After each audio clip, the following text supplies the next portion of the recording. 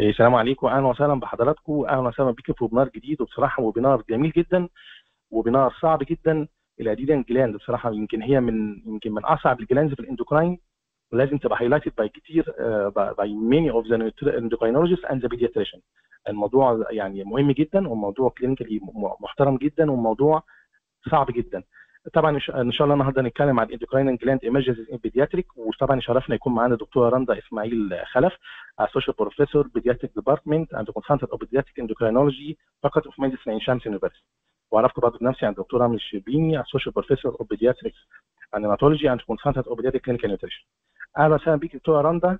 آه موضوع جميل موضوع صعب موضوع مهم موضوع يبقى لازم يكون معروف كويس جدا من pediatric endocrinologist آه حالاته مش قليلة. وإن شاء الله تبقى محاضرة جميلة ونستفيد منها كلنا. اتفضلي حضرتك.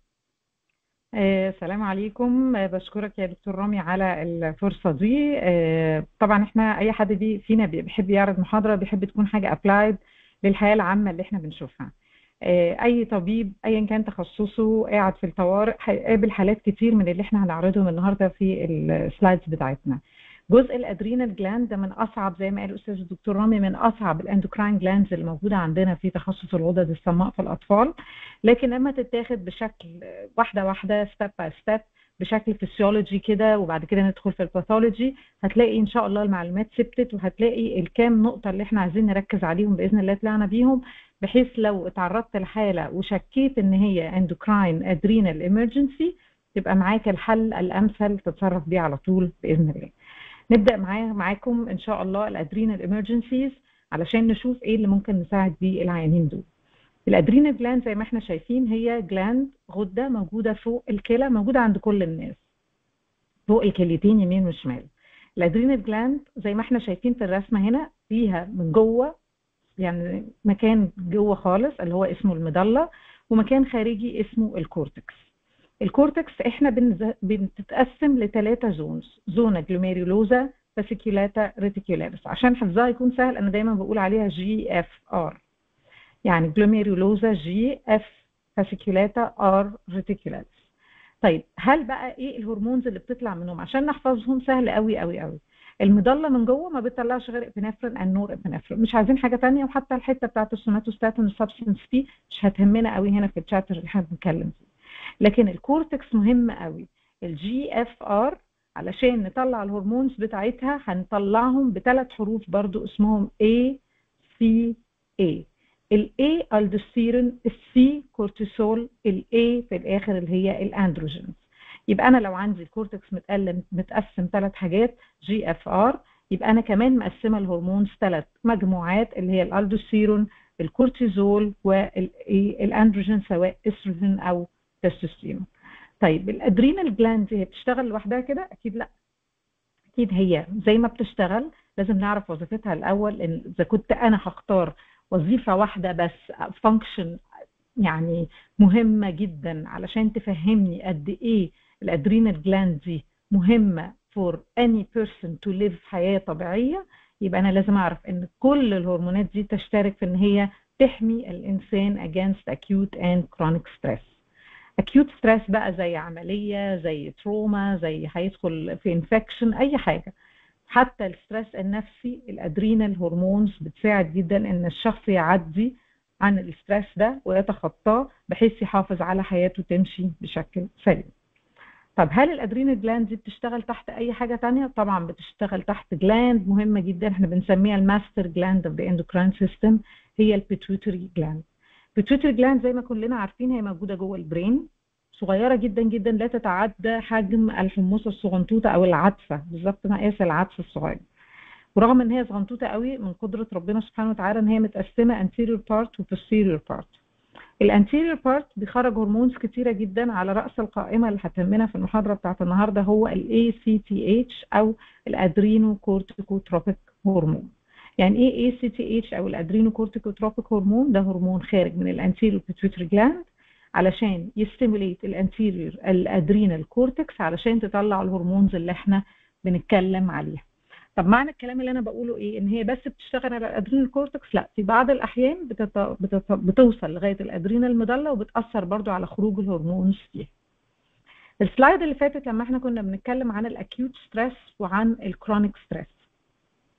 إحنا عندنا حاجات كتيرة قوي diagrams وفيديوهات وحاجات موجودة على اليوتيوب وموجودة في أماكن كتير عشان تشرح الكلام اللي أنا هقوله لكن أنا هعتمد على الصورة دي عشان أوضح لحضراتكم إيه اللي إحنا محتاجينه في ال acute stress وإيه اللي إحنا محتاجينه في ال chronic stress يجي بني آدم يتعرض ل acute stress زي مثلا حادثة زي وقع من حاجة زي حاجة مرة واحدة مفاجئة إيه اللي بيحصل؟ على طول يحصل stimulation من ال brain تخلي ال pituitary gland تتنبه. ال pituitary gland تطلع hormones معينة تخرج من ال adrenal medulla ال epinephrine ال norepinephrine الكلام ده مهم جدا جدا. علشان ما يجيش حد يتلخبط يقول الكورتيسول إحنا محتاجينه ال acute stress محتاجينه آه بس مش زي احتياجنا لل epinephrine ال norepinephrine في ال acute stressful condition زي حادثة زي trauma مرة واحدة حاجة مفاجئة وده بيحصل إنه بيجي stimulus مرة واحدة لل brain مرة واحدة ال pituitary gland مرة واحدة ال ACTH and epinephrine and norepinephrine طب ال chronic stresses أو ال stresses اللي بتمشي على شكل gradual يعني واحدة واحدة بيتعرض لضغط نفسي بيتعرض ل infection بيتعرض لحاجات معينة تحتاج hormones تخرج بتقعد مدة طويلة لكن بتخرج بصورة أبطأ شوية. طب مين فيهم ال gland اللي هتتأثر؟ طبعا ال anterior pituitary gland هتطلع مين اللي إحنا لسه قايلين عليه؟ ال ACTH هتشتغل على مين؟ هتشتغل على الثلاثه zones اللي قلناهم اللي هم ال GFR اللي هي glomerulosa fasciculata and reticularis تطلع مين الثلاثه اللي إحنا قلناهم؟ A C A اللي هم aldosterone cortisol and androgen طب الاندروجين هل هي مهمة بالنسبة لنا في ال stress سواء acute أو chronic أكيد لا. بالمنطق إحنا مش معقولة في ال stress أو ال stressful condition هيبقى المخ بيفكر إنه يطلع استروجين وتستوستيرون. بالمنطق لأ. يبقى مين الاثنين الوحيدين اللي أنا أهتم بيهم في في ال chronic stress أو ال less timing stress أو ال stress اللي بياخد وقت أقل؟ هم ال aldosterone and cortisol لو أنا اخترت واحد فيهم ما بين الألدوستيرون وما بين الكورتيسول أهتم بيه في ال stress في ال condition اللي عايزة بقى بسرعة أرجع heart rate مظبوط بسرعة أظبط ال blood pressure بتاع العيان بسرعة أرجع ال blood volume بسرعة بسرعة. يبقى أنا لو هختار من الاثنين هختار الالدوستيرون يبقى في ال stressful condition أول حاجة هتخرج ال epinephrine norepinephrine يليهم الالدوستيرون عشان أعرف الالدوستيرون بيشتغل إزاي لازم أفهم حتة فيسيولوجي كده قديمة كلنا بنعرفها وعارفينها لكن لما نيجي نسترجعها بتاخد مننا شوية وقت. هي سهلة خالص. إن أنا mainly بشتغل على النفرون لو. نفتكر مع بعض النفرون كان في ال glomerular part وكان في ال tubular part ال tubules ربنا خالقها لازقه لازقه خالص جواها network blood vessels كتيرة جدا جدا بحيث كل tubule لازق فيه blood vessel طب لازق فيه ليه؟ علشان يساعد على وظيفة ال tubule الأساسية أو اللي أنا ممكن أقول عليها الوظيفة الوحيدة اللي هي ال reabsorption of sodium and water طب لو أنا جالي مثلا وضع من الأوضاع اللي هو مثلا العيان ضغطه وطي العيان بينزف بكمية كبيرة جدا العيان حصل له مشكلة حادة بحيث إن ضغطه وقع. في عندنا system موجود ناحية ال glomerulus هيعمل stimulation لل renin system ال renin هيطلع ال angiotensin وال angiotensin يتحول ب converting enzyme و cascade كده طويل لحد لما نفرز هرمون الألدوستيرون. زي ما قلنا هرمون الألدوستيرون هيخرج هيروح بسرعة على المكان الوحيد اللي هو بيشتغل عليه تقريبا وهو ال renal tubules في النفر. هيعمل إيه بقى الألدوستيرون؟ هيقوم عامل salt retention أو sodium and water retention يعني يعمل لهم reabsorption على ال blood vessels بحيث تدريجيا نظبط ال blood volume وتدريجيا ال blood pressure بتاع العيان يعلى. طب هل أنا عندي في في الجسم كله كل ال channels موجودة لازم أدخل حاجة وأطلع حاجة مكانها. يبقى هبدل الصوديوم والمية بإن أنا هدخلهم جوه ال blood وآخد من ال blood حاجة أنزلها في ال urine هتكون مين؟ هتكون البوتاسيوم يبقى أنا الحاجة الوظيفة تقريبا الوحيدة للألدوستيرون هي salt and water retention versus potassium excretion كده إحنا عدينا أول مطب عايزين نعديه في ال adrenal gland عشان نفهم أنا في ال acute stress أو ال slowly growing stress أنا هعمل إيه. طب تاني حاجة ال corticosteroids أو الكورتيسول إحنا عندنا stressful condition زي ما قلنا أنا بيهمني ال G وال F اللي بيطلعوا الاي والسي طب السي وظيفتها إيه؟ ال C بقى وظيفتها تقريبا الوحيدة في ال stressful condition إن هي هتقوم عاملة وظيفة مهمة ووظيفتين مش مهمين قوي إيه الوظيفة اللي مهمة؟ إن هي هتشتغل على الجلوكوز. أنا دلوقتي عندي عيان عنده مشاكل كتيرة ودخل حادثة وهيدخل عمليات وعنده infection وعنده إيه قصة كده طويلة أموره مش مستقرة.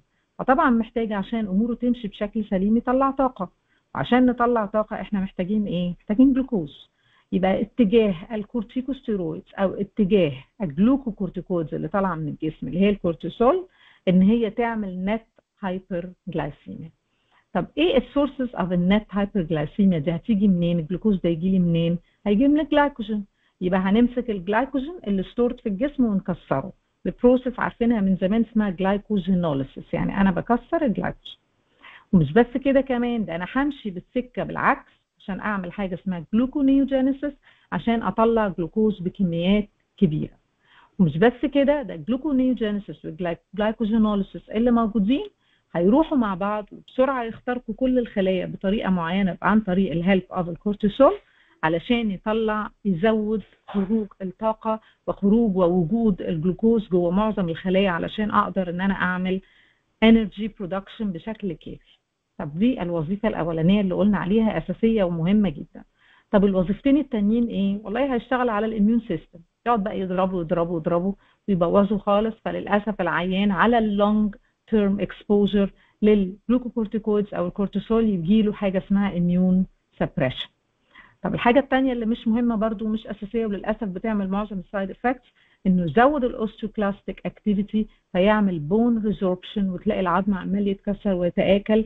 لكن من فضل ربنا سبحانه وتعالى إن الحاجات دي بتاخد مدة طويلة جدا and over exposure لكميات كبيرة جدا سواء endogenous أو exogenous كورتيسول على فترات طويلة قوي لحد لما يحصل فعلا مشاكل في العظم ويتكسر و و والمشاكل إيه والأضرار الجانبية اللي كلنا عارفينها. إحنا كده عدينا المصطبه الثانية اللي إحنا بنتكلم عليها في ال adrenal gland اللي هي مهمة جدا in how to control ال stressful condition. نشوف بقى إيه هي ال adrenal gland dis هنبدأ بقى دلوقتي نطبق شوية في الكلام اللي إحنا بنتكلم عليه. إيه ال adrenal gland disorder زي أي gland في الدنيا. عندنا hypo وعندنا hyper وزي أي gland في الدنيا إحنا عندنا في ال endocrine system أنا عندي gland الأساسية بسميها ال primary gland يعني عندي الغدة الدرقية بقول دي ال primary gland طب عندي الغدة النخامية اللي هي ال pituitary بقول عليها ال secondary gland طب عندي فوق خالص بقى اللي هي اللي فوقيهم كلهم هم الاثنين اسمها ال hypothalamus يعني دي ال tertiary gland أو ال tertiary control طيب إحنا ربنا سبحانه وتعالى خلق لنا أي gland بتفرز هرمون لازم هي نفسها تعاكس روحها. يعني إيه؟ يعني أنا عندي هنا في ال adrenal gland أنا طلعت الكورتيسول لازم أعمل حاجة اسمها negative feedback على ال pituitary gland عشان إيه؟ أمنع ال ACTH وأقول له خلاص وقف أنا طلعت بكميات كبيرة أنا مش محتاج إنك تشتغل تاني.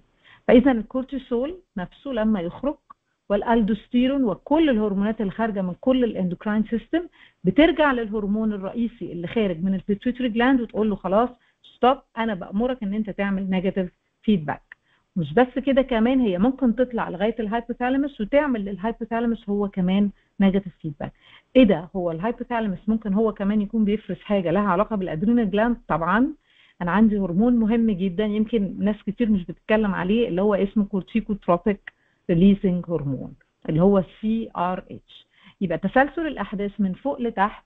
CRH يطلع من ال hypothalamus ACTH يطلع من ال pituitary gland وكورتيسول أو ألدوستيرون يخرجوا من ال adrenal gland طب الالدوستيرون والكورتيسول يعملوا negative feedback لمين؟ يعملوا negative feedback لل ACTH ولل CRH طيب لو أنا عندي طالع بكميات قليلة قوي يعني ال adrenal gland تعبانة وعيانة وحالتها حالة. طب كده ال negative feedback هيتشال مظبوط؟ يبقى الكورتيسول والألدوستيرون هيبقوا قليلين جدا في الأرض.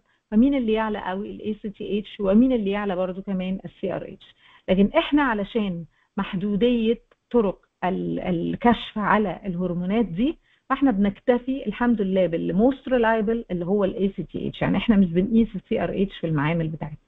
لكن بنقيس الهرمونات اللي خارجة من الغدة ال primary نفسها وبنقيس الهرمونات اللي خارجة من الغدة ال secondary وما بنستخدمش خالص إيه ال tertiary glands خالص. عشان كده أنا عايزة قدام إن شاء الله لو اتقابلنا في webinars ثانية أو لو حضراتكم سمعتوا حاجة لما أقول primary hypothyroidism يعني أنا بتكلم على ال thyroid gland نفسها. لما أقول primary hypoadrenalism يعني أنا بتكلم على ال gland ال adrenal gland نفسها. لما أقول secondary يبقى أنا بتكلم على ال pituitary لما أقول tertiary يبقى أنا بتكلم على ال hypothalamus نرجع لل slide دي زي ما أنا كاتبة هنا. عندنا ال adrenal gland disorder يا hypo قليلة زيها زي أي غدة يا عالية قليلة. إحنا بنقول عليها adrenal insufficiency وطبعا الاختصار ده ده اختصار معترف بيه في كل الدنيا اللي هو ال AI حتى الناس بتقوله على طول AI بدل ما نقعد نقول hypoadrenalism و adrenal insufficiency ونقعد نقول ونقول لكن كلمة AI دي اختصار معروف.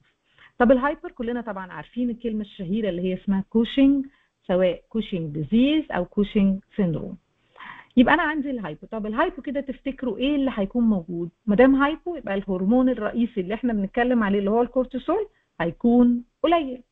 طب بال negative feedback لو gland primarily هي اللي فيها مشكلة بال negative feedback هتلاقي ال ACTH كمان عالي. طب لو المشكلة كانت في ال secondary gland اللي هي ال pituitary gland هلاقي ال ACTH واطي والكورتيسول واطي. طب الناحية الثانية hyper لو hyper يعني في زيادة في إفراز هذه الغدة. لو أنا بتكلم على ال primary gland يعني الكورتيسول هو اللي عالي هلاقيه عالي قوي. وبال negative feedback المفروض إنها تقلل ال ACTH لكن ممكن جدا يكون ال ACTH ده خارج من مصادر أخرى سواء من ال pituitary gland أو من مصادر ثانية زي ما هنشوف فيطلع هو كمان عالي وبالتالي الكورتيسول عالي. يبقى أنا لو بصيت كده بعيني كأني برجع لورا كده وببص عشان أحط في دماغي وأبدأ أقرب أقرب زي واحد شايف صورة من بعيد وبيعمل لها zoom in zoom in لحد لما الصورة كلها تكتمل. ال hypo كورتيسول قليل ال ACTH قليل ولا واطي؟ الاثنين ال hyper الكورتيسول عالي ال ACTH واطي ولا عالي؟ الاثنين تعالوا بقى نشوف مع بعض. عايزين نعمل قاعدة عامة. أنا دلوقتي في معظم الغدد اللي إحنا بنمشي عليها في الغدد الصماء وطبعا على رأس القائمة أصعبهم هي ال adrenal gland لازم أنا أبقى حاطط في دماغي أنا بقيس إيه وبقيسه ليه.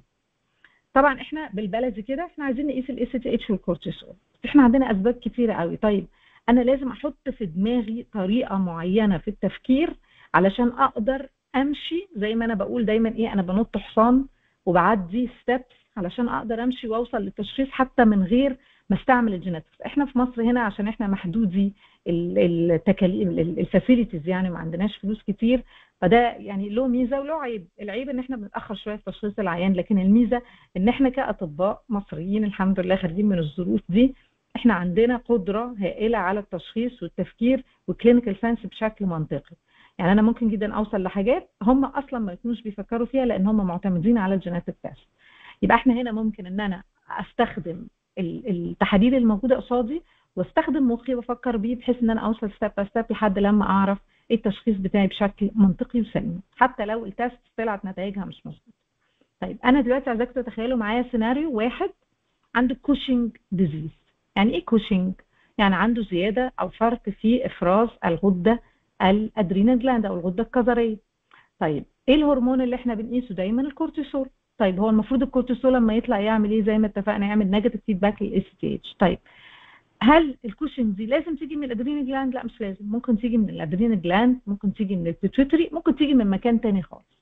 إيه ده؟ هو ممكن تيجي من مكان تاني غير الاثنين دول؟ yes إيه بقى الأماكن التانية؟ وجدوا انه في ساعات بعض الأوقات بعض ال tumors وأشهرهم ال lung cancer بالذات في الكبار مش موجودة common قوي في الأطفال لكن بالذات في الكبار فجأة كده ال tumor نفسه يتجنن ويطلع حاجة شبيهة بال ACTH ومش بس إنها شبيهة في الوظيفة لأ ده إحنا كمان لما نقيسها بالمعمل هنلاقيها بتطلع كأنها ACTH طيب أنا بقى لما آجي أفكر كده بنفسي باللي أنا اتعلمته لسه في ال slide اللي قبلها إن الكورتيسول لما يطلع بيعمل إيه؟ بيعمل negative feedback لل ACTH طيب ال negative feedback لل ACTH ده لو هي pituitary gland سليمة هيبقى ال ACTH هيقل وهيبقى تمام وشغال كويس. طب لو ال pituitary gland تعبانة هلاقي ال ACTH عالي قوي والكورتيسول عالي قوي من المعنى أصلا من الأول. هبدأ أفكر أقول آه لا ده شكله ال ACTH عالي بسبب حاجة موجودة في ال pituitary gland أو حاجة موجودة بره. طب بره فين؟ زي ما إحنا قلنا ectopic ACTH secretion من lung cancer طب هل في test تفرق ما بين الاثنين yes في test وده اللي هنتكلم فيه مع بعض حالا. يبقى أنا عندي الكوشنج أنا بقيس الكورتيسول وبقيس ال ACTH لو لقيت ال ACTH قليل الكورتيسول عالي خلاص. ده ال gland نفسها عالية وأنا مش محتاجة أعمل ال test اللي أنا هتكلم عليه دلوقتي. طب لو أنا قست الكورتيسول وال ACTH والاثنين لقيتهم عاليين ومتجننين خالص خالص خالص هعمل test اللي أنا هتكلم معاكم عليه دلوقتي. مش هقول على اسمه حالا لكن نمشي للسيناريو الآخر. السيناريو اللي بعده إن أنا عندي الكورتيسول قليل اللي هو ال adrenal insufficiency أو نتكلم بقى زي الناس بتوع كل الدنيا ال AI أو ال adrenal insufficiency ال AI بيقول إن الكورتيسول هيطلع قليل. ويقول لي يا دكتور يا دكتورة رندا دوري على ال ACTH أدور على ال ACTH ألاقيه عالي. يبقى معنى كده إيه؟ إن ال gland هي اللي بايظة. طب لو دورت على ال ACTH لقيته هو واطي يبقى معنى كده إن ال pituitary gland هي اللي مش شغالة. طب تعالوا نشوف مع بعض نستعرض ال test لو أنا suspecting Cushing بعمل حاجة اسمها dexamethasone suppression test. يعني إيه dexamethasone suppression test الدexamethasone suppression test ده أنا عندي الكورتيسول طالع. طالع طالع بكميات كبيرة جدا وطالع معاه ال ACTH أنا لازم أطمن لما أنا أدي كورتيزون من بره أو المادة اسمها ديكساميثازون هل ال findings اللي أنا طلعتها هتطلع suppressible ولا لا؟ يعني إيه suppressible يعني ال levels اللي طلعت عندي دي بتقل ولا مش بتقل؟ وهنبص في ال slide اللي بعدها ونفهم طب تعالوا نشوف ال term الثاني أو ال condition الثاني لو أنا suspecting adrenal insufficiency هعمل حاجة اسمها ACTH stimulation test. لا ده أنا هجيبك من فوق بقى خالص وهشوفك. لو أنا اديتك ACTH هل هتطلع كورتيسول ولا مش هتقدر؟ تعالوا بقى نشوف إيه ال scenarios اللي ممكن تحصل لينا هنا عشان نبقى فاهمين. نبص مع بعض كده على أول واحد خالص اسمه dexamethasone suppression test زي ما اتفقنا ال dexamethasone suppression test ما ينفعش أعمله في عيان أي أي لازم أعمله في عيان أنا شاكك فيه إن هو عنده Cushing disease أو Cushing syndrome في حاجتين عندنا أنا بسميهم يا إما low dose dexamethasone suppression test أو high dose dexamethasone suppression test هنا بقى هتيجي حتة إيه حتة غلسة كده شوية في ال adrenal gland كل الناس بتتلخبط فيها ونمشي فيها مع بعض واحدة واحدة. يعني إيه low dose low dose يعني بدي جرعة قليلة من الديكساميثازون اللي هي 1 مللي جرام يعني إيه high dose بدي dose عالية اللي هي 8 مللي جرام طب بدي ال dose في في ال low dose بديها الساعة كام؟ بديها الساعة 11 بالليل واقيس الصبح يبقى إحنا كده متفقين إن ده test سهل. بدي للعيان قرص بالليل 1 مللي جرام من الديكساميثازون وأقول له نام واصحى الصبح الساعة 7 قيس لي التحليل. جالي التحليل ب low cortisol أو ب high cortisol. تعالوا نفهم مع بعض كده.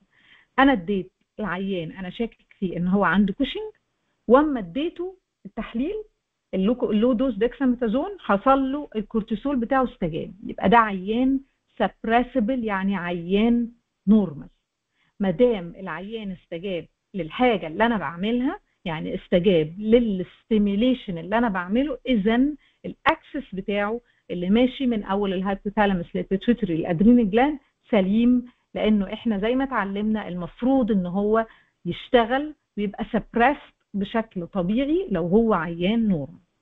طب لو لقيت إن أنا إيه ده ده أنا بدي low dose dexamethasone والعيان مش بيستجيب إيه ده ده الكورتيسول عمال يعلى وعمال يزيد وأنا مش عارفة أتحكم في العيان اذا ده Cushing syndrome طب فاكرين لما أنا قلت في ال slide اللي فاتت طب يا ترى ده Cushing syndrome سببه مشكلة طالعة من ال pituitary gland ولا مشكلة بسبب ectopic ACTH secretion ساعتها لو أنا تعرضت لهذا الموقف هقوم عاملة حاجة اسمها high dose dexamethasone suppression test طب ال high dose ده إيه؟ زي ما اتفقنا بدي 8 مللي جرام واقيس تاني يوم الصبح. لو لقيت العيان الكورتيسول بتاعه قل يعني ال ACTH بتاعه استجاب والكورتيسول بتاعه قل اذا دي Cushing disease يعني إيه disease يعني ال ACTH dependent Cushing أو يعني كوشنج طالع بسبب ACTH secretion من ال pituitary gland اقولها تاني الحتة دي. أنا هنا فكرت في في الحتة اللي قبلها لما عملت low dose dexamethasone لقيت ال high cortisol فقمت قايلة إيه ده ده Cushing syndrome أنا لسه مش مشخصاه. هنيجي هنا عند الفرق ما بين كلمة syndrome وما بين disease syndrome يعني أنا ببص على العيان. disease يعني أنا شخصته. ال syndrome ببص عليه على بعضه عنده buffalo hump وعنده moon face وعنده blood pressure عالي ووشه أحمر اللي هو إيه الحاجات اللي إحنا كلنا عارفينها. لكن أنا هنا لسه ما أعرفش. أنا لسه مش قادر أعرف الكورتيسول العالي ده سببه من ال adrenal gland نفسها ولا سببه من ال ACTH أو ال pituitary gland فما هعمل high dose dexamethasone suppression test هلاقي الكورتيسول استجاب بقى. لما زودت عالي عالي قال لك لا أنا ما أقدرش على اللعبة دي. فساعتها هقلل ال cortisol وال ACTH هيقل فهقول ده Cushing disease طب لو ما فضلش ما, ما تأثرش فضل برضه still عالي عالي بكميات كبيرة لكن ال ACTH ابتدى يقل شوية فإذا دي adrenal Cushing لو لقيت ال ACTH فضل عالي قوي قوي قوي بكميات مهولة بيبقى أرقام آلافات وألفينات وحاجات ما بنشوفهاش كتير يبقى دي ساعتها ectopic ACTH secretion أو ectopic ACTH production آه بتعمل لي Cushing syndrome وال ectopic دي زي ما اتفقنا بتحصل بسبب tumors زي الشهيرة جدا ال paramalignant syndrome اللي بيجي مع ال lung cancer أرجو إن الحتة دي تكون وضحت. ال low dexamethasone suppression test وال high dose dexamethasone suppression test. طب تعالوا نشوف لو أنا جيت عندي عيان أنا شاكة إن هو adrenal insufficiency فجيت عملت له زي ما إحنا بنجيب العيانين بتوعنا وبركز قوي قوي قوي قوي على كلمة 8 الصبح. إحنا عارفين إن إحنا ربنا سبحانه وتعالى خلق لنا ال adrenal gland وظيفتها المثلى تشتغل ما بين 6 ل 8 الصبح هو ده أكتر وقت لو أنت عايز تلقط عيان عنده adrenal insufficiency تلقطه في الوقت ده. وطبعا ما بنقدرش نسحب للعيانين عينات الساعة 6 الصبح فبنقول لهم الساعة 8 مثلا نروح المعمل وقيس الكورتيسول بتاعك وقول لنا طلع نتيجته. عندنا ثلاث سيناريوهات. عندنا أكتر من 15 microgram per deciliter يبقى ده عيان normal عندنا أقل من 3 microgram per deciliter لا ده عيان مش normal طب اللي من 3 ل 15 هو ده بقى اللي أنا بشك فيه وأقوم قايلة لأ ده أنا محتاج أعمل test جديد اللي لسه قايلين سيرته اللي هو اسمه ACTH stimulation test أو اللي هو اسمه AC cosyntropin stimulation test ده معناه إيه؟ إن أنا بدي ACTH طبعا كلنا عارفين هو موجود في السوق اللي هو ال Synacthen وبعدين 30 دقيقة بالظبط أقوم قايسة الكورتيسول. هيجي لي سيناريوهين كويسين وسهلين. عالي واتقدمت ال adrenal gland واشتغلت يبقى خلاص ما عنديش مشكلة والعيان ده طبيعي وما عندناش فيه أي problem طب والله ده ده طلع لسه قليل أقل من 18 ساعتها هعمل مين؟ صاحبنا الصدوق اللي هو ال ACTH لأن أنا كده confirming adrenal insufficiency. عايز أعرف بقى ال adrenal insufficiency دي سببها من ال gland نفسها ولا سببها من ال pituitary أو ال hypothalamus سهل قوي أعرف. لما أعمل اي سي تي اتش وألاقي الاي سي تي اتش قليل يبقى ده يا pituitary يا لو لقيت ACTH عالي يعني معنى كده إن ال feed positive feedback شغال يبقى ده ساعتها من ال adrenal gland عايزة أشوف معاكم حاجة كده في ال slide اللي قبلها يمكن الترتيب هنا مخانني. ال interpretation بتاع ال test. لو ال low dose dexamethasone suppression test يعني إيه؟ طب أنا دلوقتي عملت تحليل يا دكتورة ومشيت مظبوط والدنيا كلها تمام بس ما قلتليش إيه الأرقام. هقول لك أنا الأرقام. ال low dose لو لقيت إن العيان الكورتيسول بتاعه أقل من 1.8 يبقى إحنا كده normal ال high dose عشان أقول عليه إن هو عيان suppressible الرقم اللي طالع لي قبل ال test لازم يقل بنسبة 50% عشان أقول إن ده عيان normal الأرقام اللي أنا بقولها دي أرقام شديدة الأهمية. اللي هم ال 15 ومن 3 ل 15 والثلاثه والناحية الثانية اللي هم الواحد ونص وال 50% reduction لأن كتير جدا بتتعرض إنك تتحط تشوف قصادك ال test ما تبقاش عارف how to interpret بشكل سليم. تعالوا نرجع بقى حتة كده ألذ شوية بدل بقى إيه العك والحاجات اللي إحنا قلناها دي كلها. هنعيد شوية من الكلام اللي إحنا اتكلمنا فيه على ال adrenal insufficiency زي ما إحنا اتفقنا عندنا يا إما ال primary gland نفسها اللي فيها مشكلة يا إما ال secondary gland اللي هي ال pituitary يا إما ال tertiary gland اللي هي ال hypothalamus وطبعا زي ما إحنا اتفقنا إحنا عندنا ثلاثة hormones أساسيين اللي هم الاي والسي والاي اللي هم بيخرجوا من ال GFR من ال adrenal cortex طب ال primary adrenal insufficiency ليها أسباب عديدة عديدة عديدة؟ وسببها الرئيسي هو ال damaged adrenal gland وعلى رأس القائمة هي حاجة جميلة لذيذة صعبة مريبة اللي هي ال congenital adrenal hyperplasia أو هي مشاكل في ال adrenal gland نفسها وهنعرف سببها إيه قدام إن شاء الله في ال slides طب لما بيحصل هنا كده مشاكل في ال adrenal gland مين اللي بيقل؟ كل حبايبنا دول بيقلوا اللي هم الالدوستيرون والكورتيسول وال androgens وكل حاجة بتقل. فمين اللي بيطلع بال negative feedback أو ال positive feedback بقى هنا ال ACTH يعلى بكميات كبيرة فما أجي أقيس للعيان ده المعامل بتاعته ألاقي كل دول قليلين لكن ده عالي بكميات كبيرة. طب إيه تاني؟ ال secondary adrenal insufficiency اسباب كتير كتير كتير. ال pituitary gland بقى مليانة أي حاجة بقى اتضربت فيها blood فيها infection فيها أي حاجة يبقى كده ده ساعتها ال pituitary gland هتبوظ. لما أجي أبص على العيان ألاقي كل أصحابنا وحبايبنا قليلين لكن مش دول بس لا ده كمان ال ACTH واطي. فساعتها أقدر إن أنا أطلب للعيان الخطوة المنطقية الوحيدة اللي جاية إن أنا أعمل imaging لل pituitary gland عشان أشوف لو عنده tumor أو لو عنده hemorrhage أو لو عنده أي حاجة مشكلة في ال pituitary gland طب ال tertiary adrenal insufficiency يعني مش common قوي لكن طبعا ساعات بنشوفها إن أنا ألاقي كلهم قليلين وألاقي ال ACTH برضه قليل. بالمناسبة لما أجي أعمل ال MRI لأن أنا لو شاكه في ال secondary adrenal insufficiency هلاقي ساعتها ال hypothalamus طالع فيها tumor أو طالع فيها trauma فساعتها هشخص ليه أنا بقول كده؟ لأن إحنا في المعامل بتاعتنا ما عندناش ال luxury إن إحنا نقيس ال CR H تمام. إيه بقى الأعراض اللي تخليني أشك في ال adrenal insufficiency أنا إشمعنى اخترت ال adrenal insufficiency إحنا النهارده ال slides بتاعتنا هتتكلم على ال adrenal emergencies ال Cushing والجزء بتاع ال adrenal excess ال hormone excess مش هيبقى فيه emergencies قوي بصراحة. لكن ال emergencies اللي قد تودي بحياة العيان وشفناها كتير كتير كتير هي ال adrenal insufficiency وعايزة أقول لكم يعني أكاد أجزم إنه مفيش حوادث ما بيجيش فيها عيان عنده adrenal insufficiency specially العيانين اللي هم بتوع ال neonatal period اللي هم ال newborns اللي بيجي عندهم early congenital adrenal اللي يبقوا missed في الاستقبال.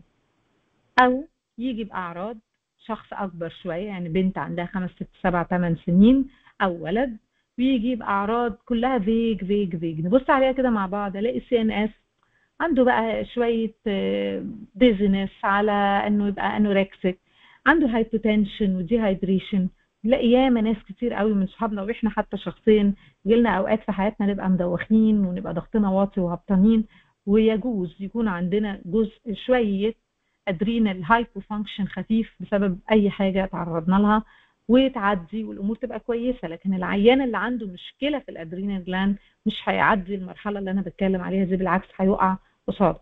تلاقي حاجات تانية زي الأنيميا وتلاقي ال eosinophilia دي اللي غريبة جدا. ممكن ساعات بنلاقيها في ال في ال CBC ونعديها ونقول له آه ده allergy آه ده parasitic infection مع عيان عنده dizziness وعنده dehydration hypotension لازم أفكر في ال adrenal insufficiency ما ينفعش بقى إن أنا أمسك ال blood electrolytes وما تعمليش زي منبه alarm لما أشوفها في الحوادث.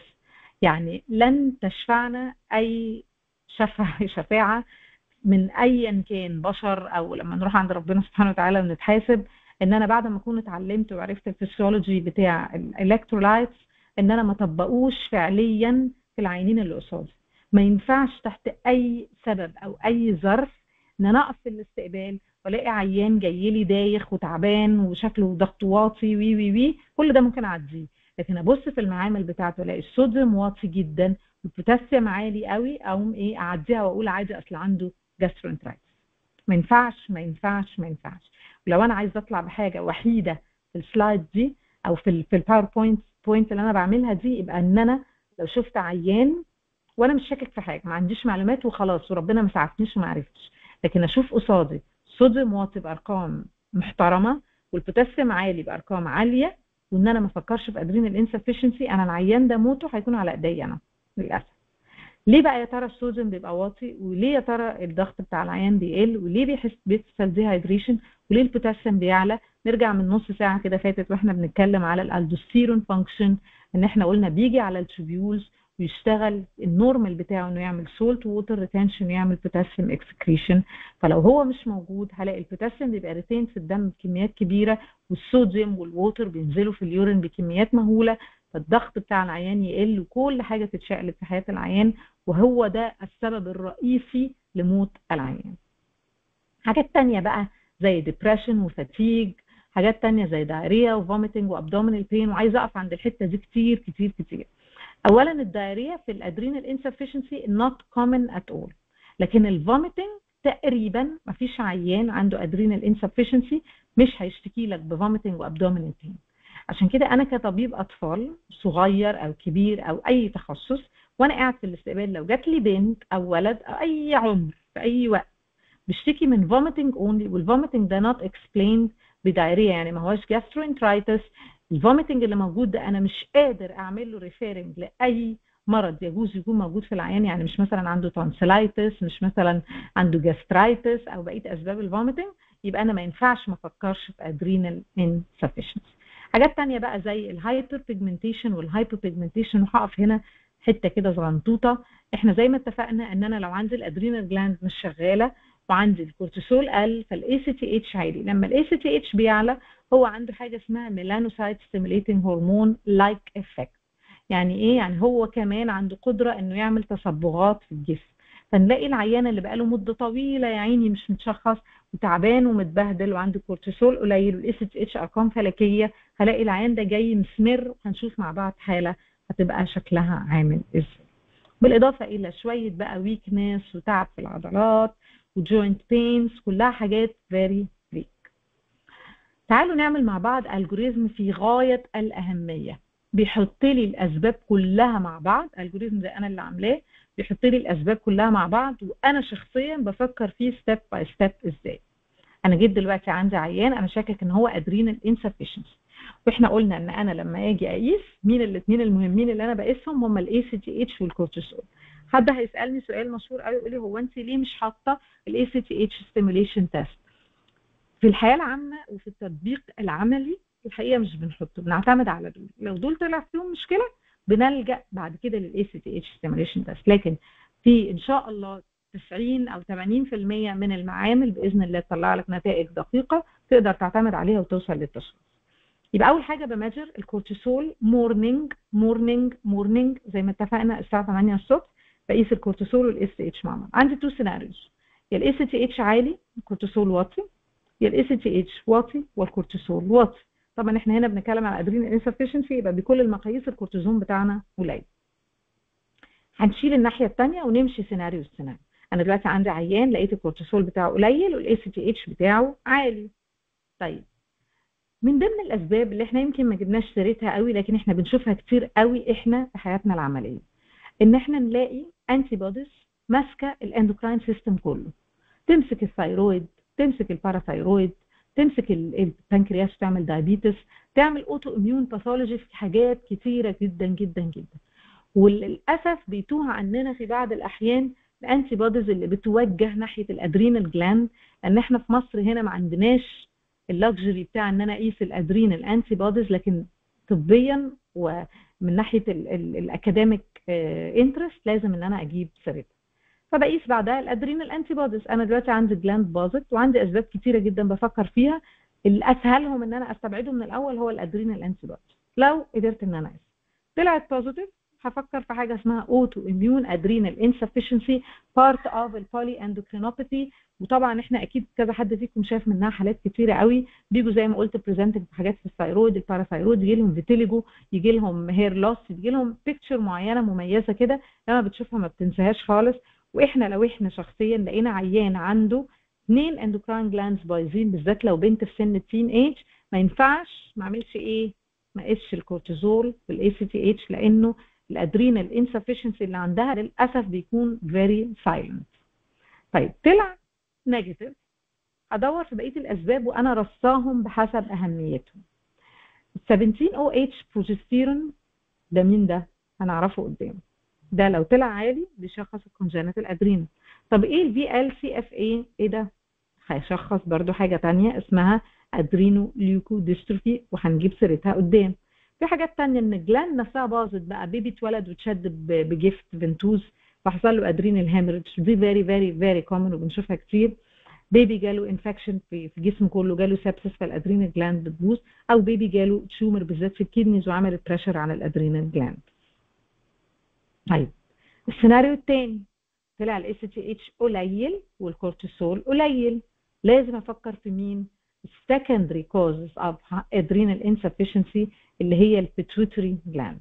طلع عندي MRI finding سواء في ال pituitary gland أو ال hypothalamus أنا كده شخصت العيان والموضوع سهل وخلصنا. طب طلع ما عنديش pituitary finding هفكر في حاجات تانية بتأثر على ال ACTH زي ال corticosteroids إيه ده؟ إيه ال corticosteroids دي؟ عندنا العيانين اللي هم زي ال systemic lupus erythematosus اللي بيمشوا على doses عالية for a very long time على كورتيزول من بره وبياخدوا أدوية وبياخدوا injections عايشين حياتهم كده ربنا يشفيهم. العيانين دول من كتر ما بياخدوا كتير كتير كتير كتير من بره إيه اللي بيحصل؟ الجسم مليان كورتيزون ومتشبع من اللي إحنا بناخده من بره اللي بنسميه exogenous glucocorticoids أو exogenous corticosteroids فتقوم عاملة إيه؟ negative feedback فساعتها تطلع على ال ACTH وتقوم مقللاه من فوق. ومش بس كده ده أنا لما أجي أقيس للعيان هلاقي الكورتيسول واطي. هتقول لي طب إزاي يا دكتورة الكورتيسول واطي؟ ما هو بياخد من بره. لا ال kits بتاعتنا اللي بتيجي تقيس في المعامل بتاعتنا بتقيس ال endogenous cortisol يعني أنا مثلا لو عيان systemic lupus وجيت قلت لها بعد ست سنين glucocorticoids intake من بره تعالي يلا أقيس لك ال ACTH cortisol هيطلعوا الاثنين قليلين رغم إنها بتاخد doses تكفي مصر كلها. يبقى ده معناه إيه؟ معناه إن أنا العيان ده لما باجي أقيس له الكورتيسول في كل حالاتي وده على فكرة من فضل ربنا يعني إن أنا لما بقيسهم بقيس ال endogenous من جوه. طب هو ال endogenous قل ليه؟ بسبب ال negative feedback لأنها بتاخد من بره بكميات كبيرة. طيب في حاجات تانية بقى زي head trauma زي إيه؟ scenarios تعالوا بقى نشوف مع بعض أول حالة نطبق فيها بقى كده ونشوفكم إيه عرفتوا معانا ولا نعيد بقى ال slide كلها من الأول أول عيان meet baby of واحدة اسمها HA عنده أسبوعين. ال baby ده إحنا قلنا عليه baby ليه؟ ليه ما قلناش ولد ولا بنت؟ هنعرف. ال baby اتولد من uneventful pregnancy ما كانش فيه مشاكل في الحمل لكن الأم ال obstetric history بتاعتها مش حلوة عندها اتنين ماتوا قبل كده وعندها ولد عايش. عندها اتنين abortion وال abortions بتوعها كلها في ال first trimester يعني طبعا إحنا زي ما علمونا زمان بتوع النساء إن ال first trimesteric abortion ده مشاكل في ال fetus نفسه. ولما اتولد دكتور الأطفال لما استلموا لقى ان هو عنده unidentified gender مش قادر يحدد ال baby ده ولد ولا بنت. فيعني قالوا baby of كذا لحين ما إيه يبان له صح. ال baby اتولد بياخد breast feeding الدنيا تمام. وبعد كده عند سن خمس أيام ابتدى يرجع بكميات مهولة. وأنا عاملة هنا vomiting بالأحمر ومش كاتبة diarrhea لأن أنا هنا طبعا منتظرة السؤال الطبيعي. هل في diarrhea هل في حاجة تانية تفسر ال vomiting ده؟ هل بياخد artificial feeding هو intolerant لل vomiting لا. ده كان بياخد breast feeding. وعند اليوم الخامس بدأ يرجع بكميات كبيرة. طيب للأسف الولد ده اتشخص على إنه عنده ولد أو بنت الله أعلم على إنه عنده GERD يعني عنده gastroesophageal reflux disease وطبعا أنا معترضة على التشخيص ده لأن ال GERD معروف إن هو مش هيجي في أول خمس أيام من العمر يعني هيجي قدام شوية مش هيجي كده. لكن لما جينا بصينا على الولد لقينا عنده weak cry الولد تعبان وعياطه مش حلو يعني الولد مش مريح. لما جينا نبص عليه أكتر شوية بتشوف قصادك الولد بعينيك كده تقدر تطلعه إن هو dehydrated وإن هو lethargic وإنه عنده tachycardia وعنده weak cry ما ينفعش بقى طفل عنده unidentified gender dehydrated و lethargic و tachycardia وعنده weak cry ما تبصش على بقية الحاجات دي. ما ينفعش ما تقيسش ال blood pressure ما ينفعش ما تقيسش الحرارة. ما ينفعش ما تقيسش الجلوكوز الصوديوم والبوتاسيوم ال blood pressure هيبقى واطي ليه؟ الفسيولوجي بقى يلعلع هنا. ال blood pressure هيبقى واطي لأن الالدوستيرون مش موجود to maintain the blood volume هو الالدوستيرون كان بيعمل إيه؟ كان بيعمل salt water retention بيعمل potassium excretion طب بص تحت كده خالص هتلاقي الصوديوم واطي والبوتاسيوم عالي. اذا الالدوستيرون عندي اتضرب وواضح في ثلاث حاجات. hypotension وواضح في ال hyponatremia وواضح في ال hyperkalemia طب ال hypothermia بتحصل ليه؟ كمان إن هو الكورتيسول اتضرب وواضح في اللي بعدها اللي هي ال hypoglycemia مش إحنا قلنا إن ال hypoglycemia دي لو cortisol normal في الفسيولوجي بتاعه بيجيب الجلايكوجين ويكسره ويجيب الجلوكوز ويعمل gluconeogenesis. طب لو هو مش موجود هنعمل إيه؟ كل الجلوكوز supply وال energy supply اللي واصل للخلايا هيبقى قليل قوي فتلاقي العيان يجي لك سكره هابط ضغطه واطي وسقعان. طب هو سقعان ليه؟ عشان الجلوكوز قليل. فهنا واضح من اللي أنا لقيته هنا إن أنا عندي اثنين very important adrenal hormones مش موجودين اللي هم ال aldosterone وال corticos ال glucocorticoid اللي هو الكورتيسول. طبعا يا صديقي العزيز ما ينفعش ابدا ابدا ابدا ما ندورش على ال genitalia وأرجوكم مفيش عيان يفوت من تحت إيدك ايا كان عمره. ايا كان عمره. baby أول مرة هتشوفه في حياتك في العيادة هتشوفه في الطوارئ في أي مكان ايا كانت أعراضه ايا كان عمره لازم تبص على ال genital أوقات كتيرة جدا يا عيني بيبقى فيه عيان عيانين كتير مش بيبقى ال clue هي ال genital system لو بصينا على ال genitalia هنا في العيان هنبص نلاقيها غريبة. مش مفهوم. إحنا عارفين إن ال genitalia في البنات بيبقى فيه آه يعني آه اسمها إيه؟ يعني بيبقى الدنيا مفتوحة في الولاد بيبقى فيه fusion هنا في ال... هنا الوضع مش واضح. إنه باين من فوق هل ده clitoris ولا ده penis طب هل الاثنين اللي منفوخين دول دول scrotum ولا دي labia طب هل ده دي vaginal slit ولا ده raphe بتاع ال scrotum مش باين فإذا العيان ده لما تجتمع فيه الحاجات دي كلها لازم أفكر في adrenal insufficiency تعالوا نشوف على ال algorithm اللي إحنا مألفينه ده أخباره إيه. أنا بمجر ال morning cortisol وال ACTH قست ال ACTH لقيته عالي. وقست الكورتيسول لقيته واطي. فكر في مين؟ adrenal antibodies طبعا ال antibodies مش common في سن خمس أيام ده أكيد يعني أو ولا أسبوعين. مش معقولة هتكون موجودة فهي definitely مش موجودة. فإذا استبعدناها هي negative أما negative بقى هنفكر في مين؟ في اللمة دي بقى كلها على بعضها سواء ال congenital adrenal أو ال adrenal dystrophy أو ال adrenal imaging ألاقي فيها hemorrhage أو infection أو tumor لما يجتمع الثلاث سيناريوهات دي genital ambiguity يعني شيء في ال genital system غير واضح تحديد الجنس فيه hypotension و hypoglycemia ما ينفعش ما نفكرش في congenital adrenal hyperplasia مش بس كده ده in crisis يعني العيان ده in crisis يعني العيان ده هيموت لو انت ما اتصرفتش دلوقتي حالا. According بقى لل guidelines اللي موجودة عندنا لازم نعرف هنتصرف إزاي. طب أنا دلوقتي انت بتقولي لي إن دي حاجة اسمها congenital adrenal hyperplasia. هو ده إيه يا دكتور؟ هقول لك إن إحنا عندنا في تصنيع ال mineralocorticoid اللي هو الألدوستيرون وفي تصنيع ال glucocorticoid وفي تصنيع ال sex steroid جوه ال adrenal gland بيتم كل ال cascade ده.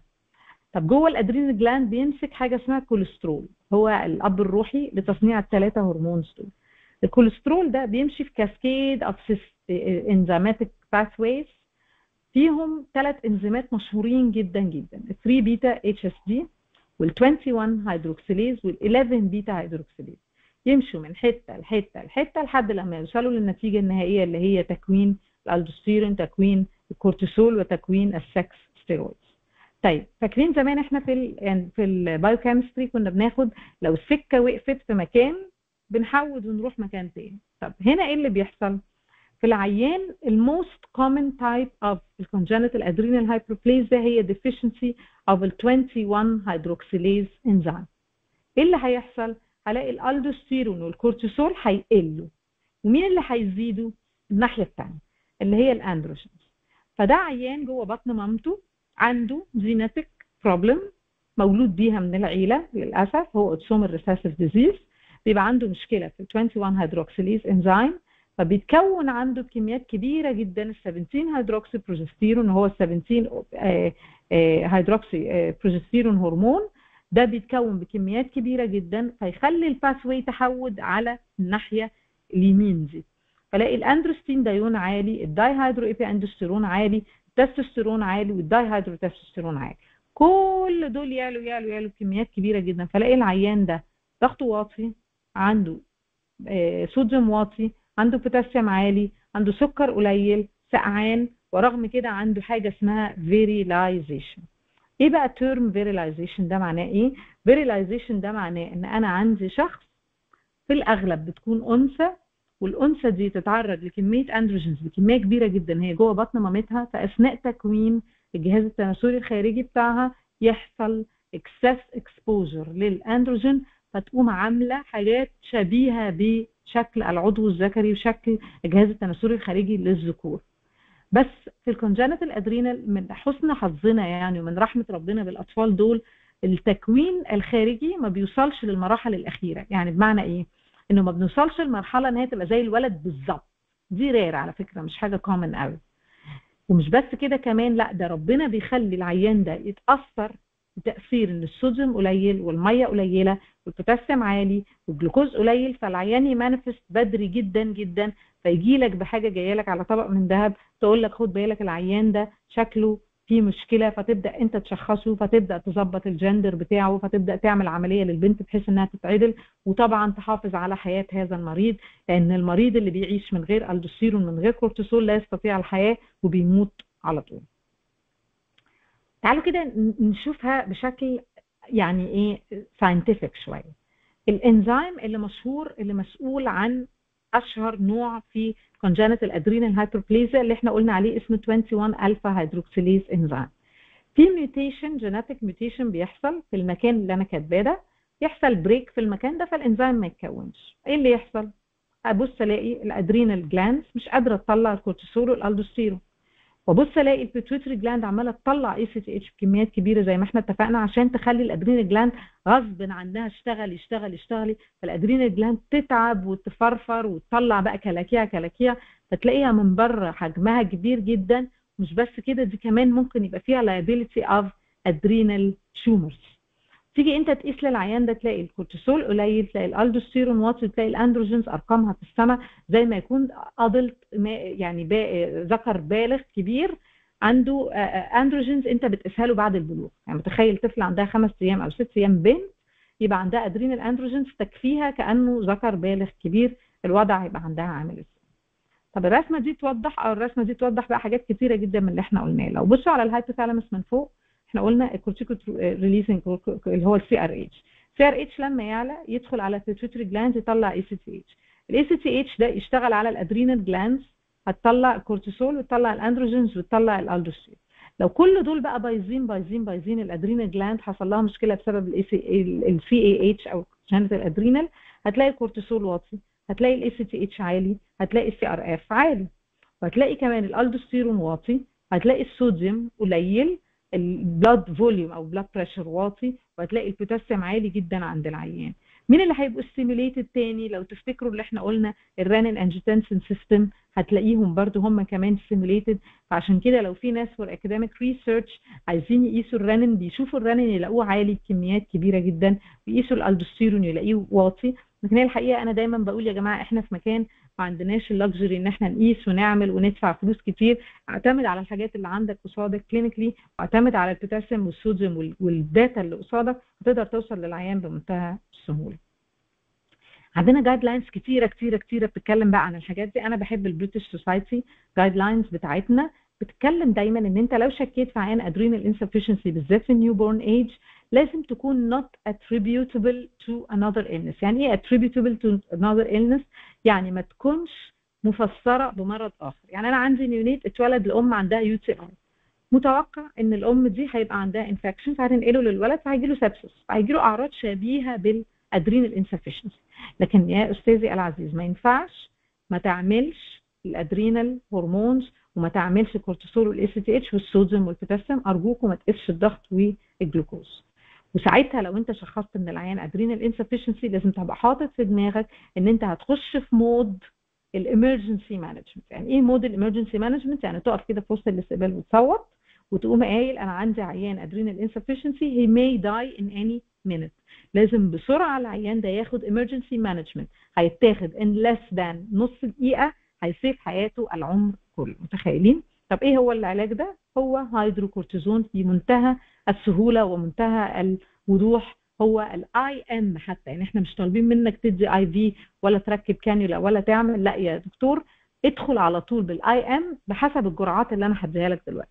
لو عيان أقل من السنة الأولانية هتدي له 25 مللي جرام هيدروكورتيزون. وبالمناسبة الهيدروكورتيزون بيتباع في الصيدليه تحت أسامي كتيرة جدا. أشهرهم طبعا إيه؟ الأدوية مش لازم نقول أسماء علشان ال slides بتاعتنا.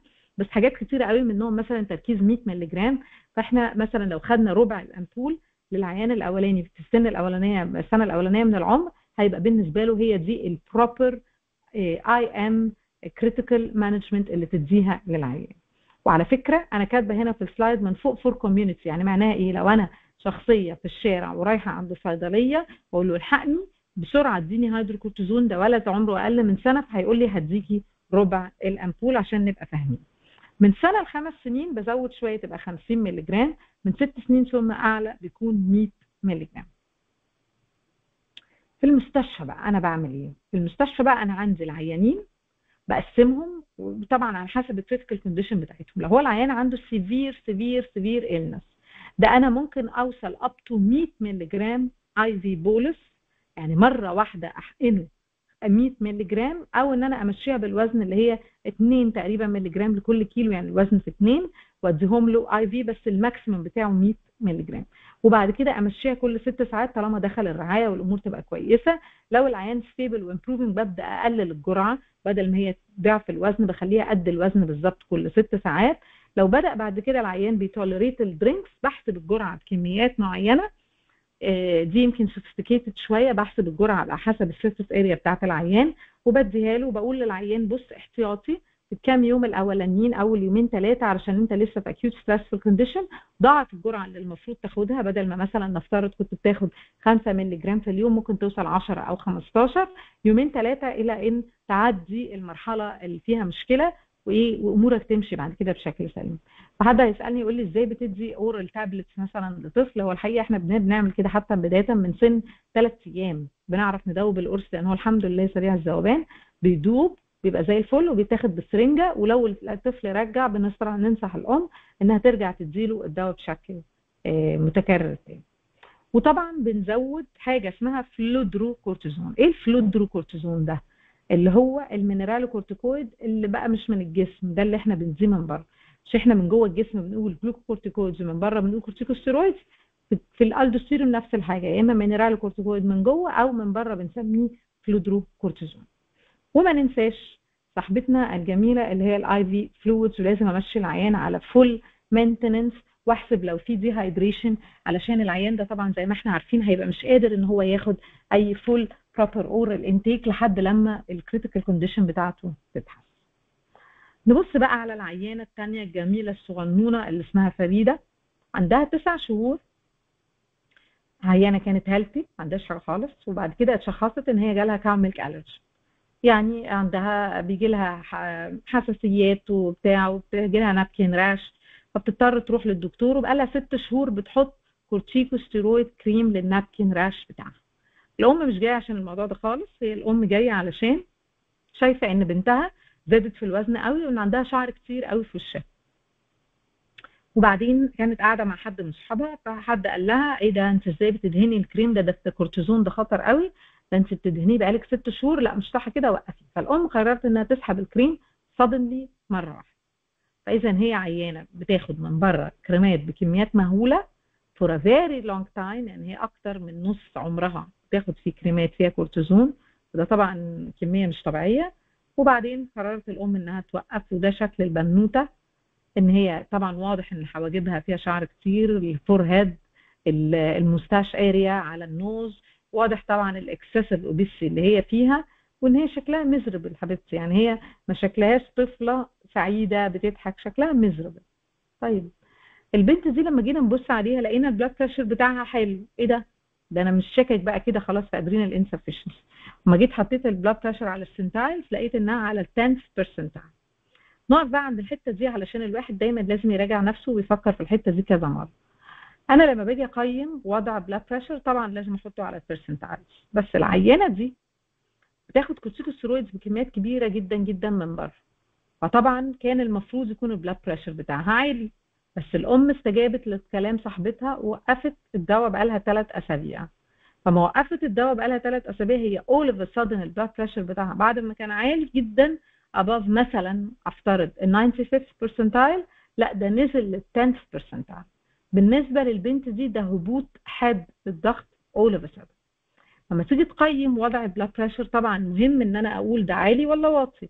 لكن مهم إن أنا أعرف بالنسبة لظروف الحالة اللي قصادي ده منطقي ولا غير منطقي. العيانة اللي قصادي شكلها cushingoid صح؟ لكن هي cushingoid لكن بالرغم من كده هي ال blood pressure بتاعها عالي. أجي أحط ال weight لقيت ال weight على 90 percentile. أحط ال height لقيت ال height على ال 50 percentile. طب ليه؟ ليه؟ رغم إن العيانه دي شكلها كوشنج بس هي الحقيقة السنة الأولانية من العمر ما عدتهاش. فالوقت اللي كان هتقعد فيه وتمشي على كورتيزول لمدة طويلة وتاخد وتاخد لسه ما لحقش يأثر على الطول النهائي بتاعها هي على 50 percentile. الحمد لله إن الأم انتبهت وجت عندنا. وان شاء الله ربنا يكرمنا ونعالج العيانة بشكل سليم. لما جينا بصينا على العيانة لقينا hair all over the face زي ما شفنا لكن مفيش axillary ولا pubic hair يعني مفيش شعر بينمو في غير الأماكن الطبيعية لظهور الشعر. What to do next نرجع لل algorithm الجميل بتاعنا. أما جينا نقيس ال cortisol morning وال ACTH morning لقينا ال ACTH was والكورتيسول واطي هل أنا متوقع كده؟ مليون في المية متوقع. كده وأما عملت MRI على ال pituitary لقيتها negative ما عنديش حاجة في ال pituitary gland يبقى أنا هخش في الحتة الأخيرة الجميلة اللي فيها يا إما exogenous corticosteroid من بره يا فيها head trauma يا فيها وفيها وحاجات ثانية يبقى أنا هنا طبعا متوقع إن بسبب ال excess corticosteroid intake from outside العيانة دي دخلت في adrenal أو secondary adrenal insufficiency مهم قوي according لل British society دي إن أنا لما يكون عيان عندي بياخد corticosteroids من بره لأي سبب بياخد بقى قطرات لعينيه بياخد lupus وبتاخد كورتيزون من بره حد عنده bronchial asthma لازم أعمل very very very gradual withdrawal of the corticosteroids with an eye أنا عاملاها بالأحمر on the pituitary adrenal axis واحتمال العيان ده يحتاج هيدروكورتيزون يعني إيه an eye on the pituitary adrenal axis بتفق مع العيانة دي أقول لها بصي أنت بنتك دلوقتي الغدة الكظريه بتاعتها ما بتفرزش هرمونات خالص. والهرمونات اللي هي مطلوبة اللي هي الكورتيزون والالدوستيرون مطلوبين للحياة. لكن لما يكون من بره الجسم اتعرضت للكميه الكبيره دي والجسم نايم شوية بياخد وقته ويقوم. هتقولي طب يا دكتور الحقني واديني من بره هقول لها لا في الأغلب مش هتحتاجي. لكن اللي أنا هعمله إن أنا هتابعك بشكل قريب كل شهر ثم كل ثلاث شهور ثم كل ست شهور وممكن نمتد up to سنة لغاية لما ال pituitary gland ترجع تشتغل. وال negative feedback اللي قلنا عليه اللي موجود على ال ACTH يتشال والكورتيسول يرجع تاني ينتج بكميات طبيعية كل ده أنا ماشي معاكي فيه. وهطلب من الأم على طول تفضلي قريبة على طول يبقى ليكي access للمستشفى بشكل تمام. وما تبقيش بتبعدي خالص عننا وتبقي دايما قريبة من المستشفى بتاعتنا. مش بس كده انت لو العيانة تعبت أو جالها أي مثلا عيا جالها infection أو جالها أي حاجة لازم على طول تجيبيها المستشفى لأن احتمال تكون دي acute stressful condition عليها وتكون محتاجة في الأوقات دي إنها تاخد هيدروكورتيزون بنفس الطريقة اللي إحنا قلناها في العيان اللي قبل. نبص بقى على آخر عيان لينا. وده عيان بنشوفه كتير كتير رغم إن ناس كتير تبقى متخيلة إن هو مش common لكن ده عيان إحنا بنشوفه كتير. عيان اسمه محسن عنده تسع سنين كانش عنده حاجة. بس بيشتكي من chronic abdominal pain أنا كنت قبل كده شرحت لكم إن ال abdominal pain من الحاجات اللي بنشوفها كتير وبتعدي محدش بيركز فيها. presenting بقى ب weakness وأعراض كلها بقى vague كده مش واضحة. weakness بتعب بسرعة ما بيقدرش يروح المدرسة على طول دايخ ما بيقدرش يكمل التمرين وبيرجع. دلوقتي بقى بيرجع كتير جدا في آخر 24 ساعة. لما جالي العيادة لقيته في الاستقبال العيان ده tachycardic جدا. ولقيته عنده hypotension وعنده hypoglycemia و dehydrated وشكله مش حلو كده. وما عنديش حاجة تفسر هو ليه تعبان بالشكل ده. لما جيت عملت ال test بتاعتي لأن أنا متعلم في المحاضرة وقاري في الفسيولوجي كويس عملت ال test لقيت الصوديوم واطي ولقيت البوتاسيوم عالي. لما جيت أبص بقى على العيان بصوا عامل إزاي؟ شايفين شكل ال gum pigmentation دي الأماكن اللي أنا بدور فيها على ال gum hyperpigmentation في إيديه وفي رجليه في أماكن ال skin creases وعند ال gums دي دايما محدش بيدور عليها. بصوا حتى هتلاقي حوالين مناخيره وحوالين بقه هو أسمر. كتير قوي بنسأل الأم هل عندكم حد في العيلة أسمر كده؟ طب هل أنت لاحظتي في الكام شهر اللي فات إن ابنك اسمر عن العاده تقول لك آه. دي شهيرة جدا. وتلاقي جوه ال nails نفسها في ridges كده of hyperpigmentation طبعا هنعمل إيه؟ نرجع لل algorithm بتاعنا. أما قسنا ال morning cortisol وال ACTH لقينا ال ACTH عالي. ولقينا الكورتيسول واطي عملنا ال antibodies طلعوا negative بصينا على اللمة دي كلها لقينا ال 17 OH progesterone normal عملنا ال VLCFA يا ترى إيه دي؟ لانها عالية قوي قوي قوي شخصنا مرض اسمه adrenoleukodystrophy وهو على فكرة شهير جدا بنشوفه كتير اسمه adrenoleukodystrophy ده مرض بيصيب أماكن معينة في ال brain في ال white matter of the brain بيحصل بسبب مشاكل في ال lipid peroxidation يعني مشاكل في التمثيل الغذائي للل lipids فتقوم عاملة deposition لبعض ال fatty acids في أماكن معينة. On top of the list هي ال brain ويليها في الأهمية ال adrenal glands فتلاقي ال brain الولد بعد ما كان وبيجي في الأولاد بالمناسبة لأنه X-linked recessive بتلاقي الولد بعد ما كان كويس وبيروح مدرسة تمام فجأة يبدأ يفقد كل حاجات كان بيقدر يعملها بشكل سليم. بيجي له intellectual problems ويجي له concentration problems بيجي له مشاكل كتيرة قوي. وعلى قائمة المشاكل اللي بتحصل هي ال hypoadrenalism أو ال adrenal insufficiency تيجي تعملوا ال MRI brain تلاقي white آه زي spots كده موجودة في ال occipital زي ما أنتم شايفين وتقريبا ال temporal bones هتلاقي فيها موجود ال MRI changes ال classic بتاعت ال adrenoleukodystro according لل British Society برضه أنا حبيت أوحد ال source عشان نبقى بنتكلم بنفس الطريقة. ال crisis management في العيان ده مهمة للغاية. ولو تاخدوا بالكم إحنا في الثلاث حالات اللي عرضناهم ال crisis management دي أهم حاجة ليه الكلام ده علشان زي ما اتفقنا إنه لو ما عملتش crisis management أنا ممكن أفقد العيان within minutes. مش بس كده ده بمشي العيان على هيدروكورتيزون وبمشيه على لمدة يعني عمره كله. وإن شاء الله بإذن الله العيان ده يبقى scheduled ل stem cell transplantation ال adrenal insufficiency إحنا في الاستقبال لازم نعلق ورقة بالشكل ده. لازم أعرف أعمل إيه مع العيان لو أنا بره الشارع أعمل إيه مع العيان لو أنا في المستشفى إيه اللي مسموح مني إن أنا أعمله إيه اللي مش مسموح إن أنا أعمله. كمان هتلاقوا حاجات تحت في الآخر ال section بتاع العمليات إن إحنا ما ينفعش العيانين دول بتوعي بتوع congenital adrenal أو بتوع الاديسون أو بتوع أي حاجة من الحاجات دول إن أنا لما ألاقيهم ما أديهمش تعليمات للعمليات. زي مثلا ال ال ال كل واحد بيعيش حياته طبيعي ممكن يتعرض انه فجاه يعمل عملية. لازم ساعتها الأم تبقى عارفة إن في precautions محددة لازم تعملها ساعة العملية. يعني يبقى عارف إن هو هيعمل هيضطر يدبل ال dose لمدة يومين هيضطر يوم العملية ياخد هيدروكورتيزون في الوريد هيضطر هيضطر نبقى عينينا على الصوديوم والبوتاسيوم هنضطر نديله محاليل أكتر شوية من العادي وهكذا. كمان أنا لو ما قدرتش إن أنا أعمل IV access زي ما قلت قبل كده ال IM موجود وجميل وسهل بيخلي أمورنا كلها تتعمل بشكل سليم ويخلي العيان يستفاد ما يحصلناش أي مشاكل بإذن الله. أشكركم وأرجو إن أنا أكون وضحت الموضوع يكون ال slides سهلة وبسيطة ونكون طلعنا بالموضوع ده بإن إحنا إزاي نساعد العيان اللي أنا شاكة فيه إن هو عنده adrenal insufficiency إزاي أعمل emergency management سواء كنت في الشارع أو كنت في المستشفى إزاي أطلب investigations تمام إزاي interpret ال investigations بتاعتي بادئه من ال ACTH وال cortisol ال dexamethasone suppression test ال ACTH stimulation test إيه أهمية الأرقام؟ إيه أهمية ال imaging في عيان ال secondary أو ال tertiary adrenal insufficiency وشكرا جزيلا. شكرا حضرتك بجد شكرا. كانت محاضرة جميلة جدا جدا. موضوع ال adrenal من gland من من المواضيع الصعبة جدا. بجد شكرا دكتور رندا كان ال slides جميلة جدا والموضوع كان illustrative وجميل جدا. وبصراحة مجهود يحترم.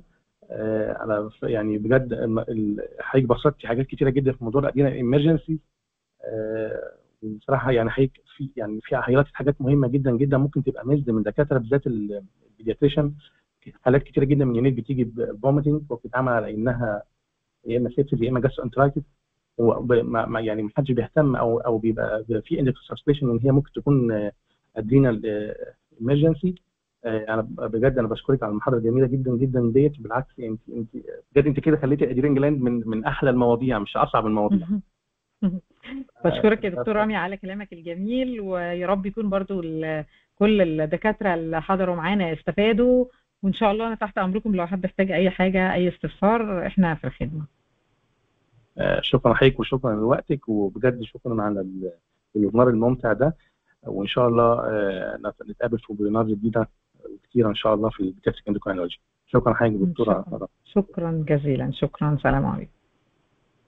وعليكم السلام ورحمة الله.